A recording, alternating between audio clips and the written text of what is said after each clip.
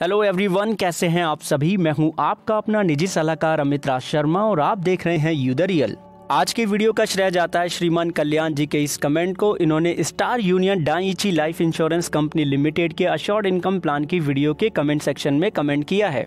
अगर आप भी स्टार यूनियन के अशोर्ड इनकम प्लान को समझना चाहते हो, उदाहरण के साथ तो चैनल पे लाइफ इंश्योरेंस प्लेलिस्ट चेक करें। आपकी सुविधा के लिए लाइफ इंश्योरेंस प्लेलिस्ट का लिंक वीडियो के डिस्क्रिप्शन में दिया गया है पहले से ही। श्रीमान खमौरी जी, आपके इस कमेंट के लिए बहुत बहुत धन्यवाद। आपके कमेंट से हमें लगा कि आप पेंशन प्लान की बात कर रहे हैं, इसलिए हम आज की वीडियो में ICICI Prudential Life Insurance Company Limited के गारंटेड पेंशन प्लान को समझ रहे हैं। हर एक व्यक्ति का पेइंग कैपेसिटी अलग होता है नीड भी अलग अलग होती है। इसलिए इस प्लान में हमें 11 ऑप्शन देखने के लिए मिलते हैं। प्लान को दो भागों में डिवाइड किया गया है सिंगल लाइफ और जॉइंट लाइफ सिंगल लाइफ का मतलब है, जिसने प्लान लिया सिर्फ़ उसको पेंशन जॉइंट लाइफ का मतलब है कि अगर आप ये प्लान लेते हैं तो आप अपने जैसे पति पत्नी एक ही प्लान में कंबाइंड हो सकते हैं, या फिर फाइनेंशियली लेकिन ब्लड रिलेशन में कोई डिपेंडेड है अनमेरिड है, उसको आप ऐड कर पाएँगे। पेंशन के दो टाइप है इमीडिएट और डेफेड डेफेड का मतलब होता है, कुछ समय रुक के पेंशन लेना। प्लान में काफ़ी ज़्यादा ऑप्शन है, हमें कंफ्यूजन नहीं चाहिए, इसलिए हम आज की वीडियो में सिर्फ़ सिंगल लाइफ ऑप्शन को ही समझ रहे हैं। पहला ऑप्शन है single life without return of purchase price. यानी कि जब तक एक व्यक्ति जीवित है, तब तक पेंशन, उसके बाद कुछ नहीं। आयु सीमा रखी गई इस ऑप्शन के लिए तीस साल से लेकर के सौ साल तक की। और यह ऑप्शन केवल इमीडिएट अन्यूटी ऑप्शन यानी कि इमीडिएट पेंशन ऑप्शन के साथ ही आपको मिलता है। ये ऑप्शन लेंगे होल लाइफ पेंशन मिलती रहेगी डेथ हो जाएगी तो नॉमिनी को कुछ भी पे नहीं किया जाएगा। ओके जी? यानी कि डेथ बेनिफिट नहीं है इस ऑप्शन में। और अगर आप single life without return of purchase price option लेंगे तो आपको सरेंडर वैल्यू भी इसमें नहीं मिलता, यानी कि आप सरेंडर भी नहीं कर पाते हैं। उदाहरण हम यहाँ पे ले लेते हैं। मान लेते हैं श्रीमान ए है, जिनकी आयु 45 साल की है। उन्होंने single life without return of purchase price option लिया। तो ऐसे में कम से कम जो प्रीमियम पे करना होगा, वही हम यहाँ पे मान रहे हैं, क्योंकि आप लोग कहते हैं कि मिनिमम प्रीमियम के साथ बताया करो। तो दो लाख तीन हज़ार छः सौ एक रुपये का प्रीमियम पे करना होगा। बारह हज़ार आठ सौ छः रुपये का सालाना इनको पेंशन अमाउंट मिलता रहेगा जब तक ये प्लान में बने रहेंगे। अब दूसरा ऑप्शन आता है यहाँ पे single life with return of purchase price option ये ऑप्शन आपको दोनों ही कैटेगरी में मिलता है। इमीडिएट पेंशन में भी और डेफर्ड पेंशन में भी। डेफर्ड पेंशन को हम यहाँ पे डेफर्ड एन्यूटी कह रहे हैं। डेफर्ड एन्यूटी ऑप्शन लेना है। Single life with return of purchase price में तो तीस साल से लेके पचासी साल की आयु की सीमा रखी गई है। इमीडिएट पेंशन के लिए वही तीस साल से लेके सौ साल। ये ऑप्शन आप लेंगे तो होल लाइफ आपको पेंशन मिलती रहेगी जब तक आप इस प्लान में बने रहेंगे। और अगर डेथ हो जाएगी और इमीडिएट पेंशन का ऑप्शन लिया होगा तो परचेज प्राइस आपके नॉमिनी को मिल जाएगी प्लान बंद हो जाएगा। पॉलिसी में सरेंडर वैल्यू का प्रावधान रखा गया है। अगर आप single life with return of purchase price option लेते हैं लोन भी ले सकते हैं सरेंडर वैल्यू का अस्सी प्रतिशत तक। और जो रेट ऑफ़ इंटरेस्ट यहाँ पे अप्लाई होगा, वो सात दशमलव पाँच छह प्रतिशत का अप्लाई होगा, जो कि फिक्स नहीं है। अब एक चीज़ ध्यान से सुने। लोन की फैसिलिटी, डेफर्ड अन्यूटी यानी कि डेफर्ड पेंशन ऑप्शन के लिए ही है। वो भी डेफर्ड पीरियड के अंदर ही लोन ले सकते हैं। डेफर्ड पीरियड खत्म होने के बाद नहीं। ध्यान रखिएगा ये चीज़। बात आती है सरेंडर वैल्यू की। तो पॉलिसी के पहले तीन साल के अंदर सरेंडर करेंगे तो जो आपका बेस प्रीमियम आपने पे किया, उसका पिछहत्तर प्रतिशत निकाल के जितना आपको पेंशन अमाउंट मिल गया, उसको घटा देंगे। पॉलिसी के चौथे साल पे या उसके बाद पॉलिसी को सरेंडर करते हैं तो जो आपका बेस प्रीमियम है, उसका 90 प्रतिशत निकाल के जितना आपको पेंशन अमाउंट मिल चुका, वो आप घटा देंगे। अब प्लान में आगे जितने भी ऑप्शन में मैं आपसे कहूँ कि सरेंडर वैल्यू मिलेगी तो वो इसी टर्म्स के आधार पर मिलेगी और इसी तरीके से कैलकुलेशन की जाएगी। आगे मैं ये चीज़ नहीं दोहराऊँगा, ध्यान रखिएगा और इसलिए वीडियो को ध्यान से देखिएगा, कहीं भी स्किप मत करना, स्किप करोगे, कुछ ना कुछ मिस कर दोगे। अब हम यहाँ पे उदाहरण ले लेते हैं। Single life with return of purchase price का मान लेते हैं श्रीमान ए है, जिनकी आयु 35 साल की है। वो इमीडिएट एन्यूटी ऑप्शन को ले रहे हैं single with return of purchase life यानी कि single life with return of purchase price के साथ में। इसके लिए इनको कम से कम जो प्रीमियम है, दो लाख अठारह हज़ार आठ सौ इकहत्तर रूपए का पे करना ही होगा। सालाना जो पेंशन मिलती रहेगी, वो बारह हज़ार छह सौ चवालीस रूपए की मिलती रहेगी और आगे चल के अगर डेथ हो जाएगी तो रिटर्न ऑफ़ परचेज प्राइस इनको वापस मिल जाएगी, जो का होगा? बेस प्रीमियम यानी कि रिटर्न ऑफ़ परचेज प्राइस क्या होगी? बेस प्रीमियम यानी कि दो लाख पंद्रह हज़ार रुपए का अमाउंट इनके नॉमिनी को दे दिया जाएगा पॉलिसी बंद हो जाएगी. अब मान लेते हैं श्रीमान ए है, जिनकी आयु 35 साल की है. Single life with return of purchase price deferred annuity option वो ले रहे हैं. और जब हम बात कर रहे हैं डेफर्ड एन्यूटी की तो देखिए जो डेफर्ड पीरियड ऑप्शन है, वो एक साल से लेकर के दस साल का होता है। डेफर्ड पीरियड को हम डेफर्डमेंट पीरियड भी कहते हैं। पैंतीस साल की उम्र है तो हमने यहाँ पे दस साल का डेफर्डमेंट पीरियड ले लिया। उससे हुआ ये कि जो मिनिमम पेड प्रीमियम निकल के हमारा आया टैक्स के साथ, वो एक लाख बावन हज़ार सात सौ एक रुपए का आया। यानी कि परचेज प्राइस हो गई डेढ़ लाख रुपए की। तो जो इनको सालाना प्रीमियम आई मीन टू से कि जो सालाना पेंशन जो मिलता रहेगा, वो चौदह हज़ार नौ सौ पचपन रूपए का मिलता रहेगा। और ये चौदह हज़ार नौ सौ पचपन रूपए का जो अमाउंट है, वो दस साल के डेफरमेंट पीरियड में हर साल इकट्ठा भी होता रहेगा, जिससे कि अगर डेथ हो जाएगी तो जो बेस प्रीमियम है, उसके साथ ऐड होकर नॉमिनी को पे कर दिया जाएगा। समझ लेते हैं किस तरीके से। मान लेते हैं श्रीमान ए की जो मृत्यु है पॉलिसी के 10 साल कंप्लीट होने पे हो गई। यानी कि पेंशन पीरियड चालू नहीं हुआ 10 साल डेफरमेंट पीरियड ही चालू था, वही कंप्लीट हुआ राइट तो ऐसे में जो परचेज प्राइस है, उसमें अक्योर्ड गारंटीड एडिशन का जो अमाउंट है, जोड़ दिया जाएगा। और अगर पेंशन का अमाउंट मिल गया होता तो वो घटा दिया जाता टोटल रिसीव्ड अन्यूटी अमाउंट को। राइट तुम्हारे एग्ज़ाम्पल में हमें परचेज प्राइस हमें पता ही है। अक्योर्ड गारंटीड एडिशन का जो अमाउंट है, वो क्या होगा? चौदह हज़ार नौ सौ पचपन रूपए में हम दस का गुणा यहाँ पे कर देंगे। तो क्या हो जाएगा? एक लाख उनचास हज़ार पाँच सौ पचास रूपए का ये अमाउंट हो जाएगा। परचेज प्राइस का जो हमारा अमाउंट है, वो एक लाख पचास हज़ार का होगा और टोटल रिसीव्ड अन्यूटी अमाउंट हमारा यहाँ पे ज़ीरो है। तो दो लाख निन्यानवे हज़ार पाँच सौ पचास रूपए का अमाउंट श्रीमान ए के नॉमिनी को दे दिया जाएगा और पॉलिसी बंद हो जाएगी। ठीक है जी? इस तरीके से डेफर्ड पीरियड में डेथ बेनिफिट की कैलकुलेशन की जाती है। ध्यान रखिएगा। अब आता है ऑप्शन नंबर तीन। ऑप्शन नंबर तीन है single life return of purchase price from the age of 76 यानी कि छिहत्तर साल की उम्र से जो परचेज प्राइस है, वापस मिलना शुरू हो जाएगी। इस ऑप्शन के लिए आयु सीमा तीस साल से लेके सत्तर साल।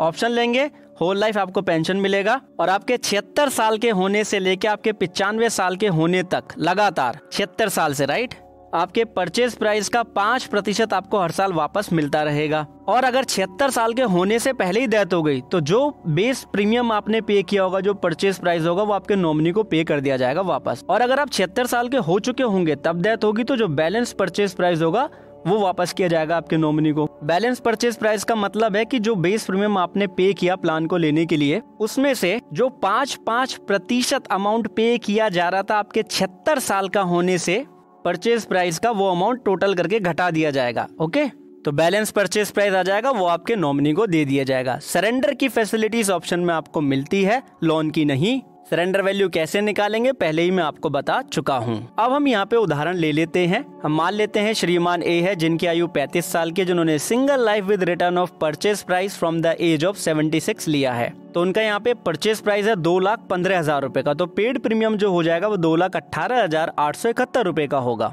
तो जो सालाना जो पेंशन इनको मिलने लगेगी वो होगी बारह हज़ार दो सौ तिहत्तर रूपए की हर साल। छिहत्तर साल का होने से पहले डेथ हो गई तो दो लाख पंद्रह हज़ार रूपए नॉमिनी को मिल जाएगा। और उसके बाद होगी तो तो जो दो लाख पंद्रह हज़ार का जो पाँच पाँच प्रतिशत पे किया गया उसको घटा दिया जाएगा दो लाख पंद्रह हज़ार में से। ठीक है जी?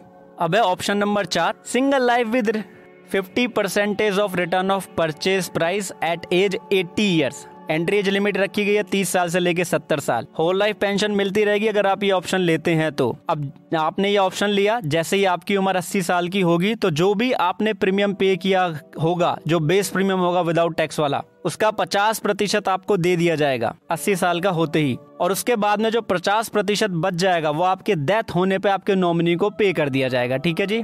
ये ऑप्शन आप लेंगे तो सरेंडर वैल्यू का प्रावधान इसमें आपको मिल जाएगा। सरेंडर वैल्यू कैसे निकालेंगे ऑलरेडी आपको बता दिया गया है। और आपके दिमाग में होगा कि 80 साल का होने से पहले डेथ हो गई तो? तो जो भी आपका परचेज प्राइस है, यानी कि जो बेस प्रीमियम आपने पे किया है, वो आपके नॉमिनी को पे कर दिया जाएगा पॉलिसी बंद हो जाएगी। एग्ज़ाम्पल ले लेते हैं, मान लेते हैं श्रीमान रवि है, जिनकी आयु 40 साल की है। उन्होंने single life with 50 percentage return of purchase price at 80 years of age का ऑप्शन लिया। दो लाख अट्ठारह हज़ार आठ सौ इकहत्तर रुपए उन्होंने पे किए तो सालाना पेंशन का जो अमाउंट उनको मिलने लगेगा, वो बारह हज़ार दो सौ छियानवे रुपए का मिलने लगेगा। क्योंकि ये जो ऑप्शन है इमीडिएट एन्यूटी में है डेफर्ड में नहीं।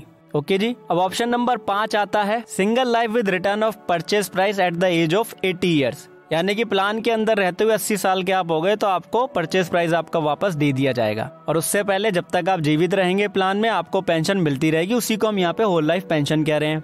और अगर 80 साल का होने से पहले डेथ हो गई तो जो परचेज प्राइस है तो भी नॉमिनी को दे दिया जाएगा। ठीक है जी? और 80 साल तक अगर आप जीवित रहे डेथ नहीं हुई तो भी आपका परचेज प्राइस जो है, ऐसे में आपको वापस कर दिया जाएगा। अब जब कंपनी अपने पास कुछ रख रही नहीं है 80 साल पे आपको दे रही है आपकी उम्र पे 80 साल का होने पे तो ऑब्वियस बात है, आगे पेंशन फिर आपको नहीं मिलेगा, क्योंकि कंपनी ने परचेज प्राइस आपको वापस दे दिया। इस ऑप्शन को आप आगे चल के सरेंडर भी कर सकते हैं, ऐसा प्रावधान इसमें है। उदाहरण ले लेते हैं, मान लेते हैं श्रीमान दीपक है, जिनकी आयु चालीस साल की है। उन्होंने single life with return of purchase price at eighty years of age लिया। दो लाख उनतीस हज़ार इक्यावन रुपए का प्रीमियम उन्होंने कम से कम पे ही करना ही होगा। तभी जाके सालाना जो पेंशन है वो बारह हज़ार चार सौ नवासी रूपए का बैठेगा और अस्सी साल का होते ही दो लाख पच्चीस हज़ार रूपए का अमाउंट इनको वापस मिल जाएगा। प्लान के अंदर ध्यान रखिए, जो अन्यूटी का लिमिट है वो ये कहता है कि सालाना बारह हज़ार रूपए का वो आपका पेंशन अमाउंट बैठना चाहिए। तभी आप ये प्लान ले सकते हैं। ठीक है जी? इस ऑप्शन में अस्सी साल का पहले होने से अगर इनकी डेथ हो गई दीपक जी की तो जो इनका बेस प्रीमियम है, वो इनके नॉमिनी को दे दिया जाएगा प्लान बंद हो जाएगा। अब ऑप्शन नंबर छह। ऑप्शन नंबर छह कहता है single life with return of purchase price किस केस में? क्रिटिकल इलनेस के केस में? परमानेंट डिसेबिलिटी के चलते, जो कि एक्सीडेंट के चलते हुई हो, या फिर डेथ केस में? इमीडिएट एन्यूटी और डेफेड एन्यूटी दोनों में ही मिलता है। पहले हम इमीडिएट एन्यूटी की बात कर रहे हैं। एज लिमिट रखी गई है, तीस साल से लेकर के सत्तर साल। अगर अस्सी साल की उम्र से पहले क्रिटिकल इलनेस होती है या एक्सीडेंट के चलते परमानेंट डिसेबिलिटी हो जाती है इन दोनों में से जो भी पहले होता है तो जो परचेज प्राइस होगा, वो कंपनी दे देगी यहाँ पे आपको क्योंकि आप जीवित रहेंगे, ऐसे में। और अगर आप 80 साल के हो गए हैं या 80 साल के बाद में आपको क्रिटिकल इलनेस या एक्सीडेंटल परमानेंट डिसेबिलिटी होती है तो वो अंडर द कवर नहीं है। उस केस में केवल डेथ बेनिफिट ही पे किया जाएगा, जो कि परचेज प्राइस होगा, जो आपने बेस प्रीमियम पे किया हो गया होगा आपके द्वारा, वो। ठीक है जी। उदाहरण ले लेते हैं यहाँ पे कि श्रीमान एम है, उनकी उम्र 40 साल की, उन्होंने single life with return of purchase price on critical illness permanent disability और डेथ ऑप्शन लिया। तो ऐसे में उन्होंने दो लाख अट्ठारह हज़ार आठ सौ इकहत्तर रूपए का कम से कम अमाउंट पे किया, तभी जाके उनको सालाना बारह हज़ार पाँच सौ सतासी रूपए का पेंशन मिलता रहा। और अस्सी साल का पहले होने से अगर उनको क्रिटिकल इलनेस हो गई या डिसेबिलिटी हो गई तो उनका जो परचेज प्राइस है वो वापस उनको मिल जाएगा। और अगर डेथ हो गई तो भी परचेज प्राइस वापस मिल जाएगा। अब बात करते हैं डेफर्ड एन्यूटी के ऑप्शन की इस ऑप्शन में। Single life with purchase price यानी कि single life with return of purchase price on critical illness permanent disability due to accident और डेथ केस में अगर आप डेफर्ड एन्यूटी ऑप्शन ले रहे हैं तो 30 साल से लेकर पिचासी साल तक की आयु लिमिट है। एंट्री एज लिमिट है। फर्डमेंट पीरियड का ऑप्शन है एक साल से लेकर के दस साल तक का। अगर आपके अस्सी साल होने से पहले, अगर आपके 80 साल का होने से पहले डेफरमेंट पीरियड के दौरान आपको क्रिटिकल इलनेस हो जाए या परमानेंट डिसेबिलिटी हो जाए डेथ हो जाए तो ऐसे में परचेज प्राइस के साथ में जोड़ा जाएगा। अक्योर्ड गारंटीड एडिशन उसका कंपैरिजन किया जाएगा। परचेज प्राइस का 105 प्रतिशत से दोनों में से ज़्यादा होगा, वो आपको दे दिया जाएगा।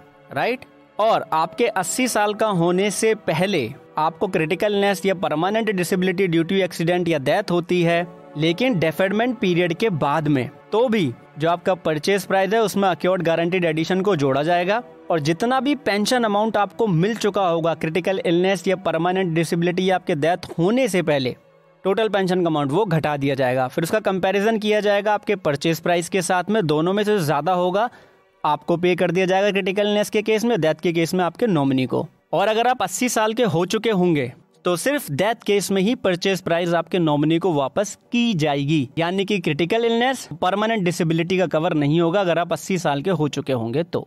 ठीक है जी, ये चीज़ ध्यान रखिएगा। अब हम यहाँ पे एग्ज़ाम्पल ले लेते हैं डेफेड एन्यूटी का। Single life with return of purchase price on critical illness और permanent disability due to accident और डेथ मान लेते हैं श्रीमान के है, जिनकी आयु 40 साल की है 10 साल का डेफरमेंट पीरियड उन्होंने ले लिया। ले सकते हैं क्योंकि 40 साल की उम्र है? तो ऐसे में जो मिनिमम इनको प्रीमियम पे करना पड़ेगा, वो एक लाख बाईस हज़ार एक सौ इकसठ रुपए का पे करना ही होगा। यानी कि जो परचेज प्राइस होगी, वो एक लाख बीस हज़ार रुपए की होगी तो इनको सालाना जो पेंशन मिलती रहेगी, वो होगी बारह हज़ार पाँच सौ अड़सठ रुपए की। ठीक है जी? बाकी बेनिफिट मैंने आपको ऑलरेडी यहाँ पे एक्सप्लेन कर दिए हैं।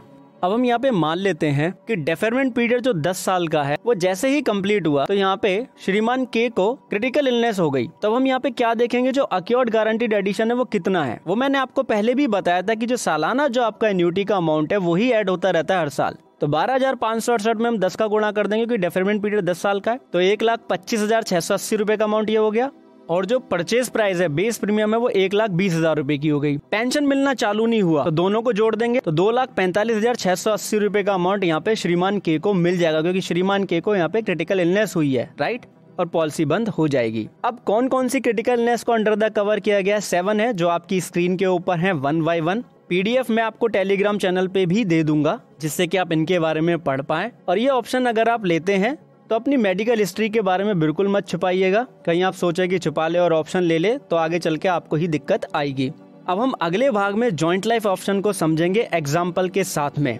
अगर आपको कोई कंफ्यूजन है तो कमेंट सेक्शन में आप पूछ सकते हैं, आपका कोई सुझाव है तो आप वो भी दे सकते हैं। बाकी वीडियो देखने के बाद अगर टेलीग्राम चैनल से आप पीडीएफ को चेक कर लेंगे तो आपको कोई कंफ्यूजन नहीं रहेगा।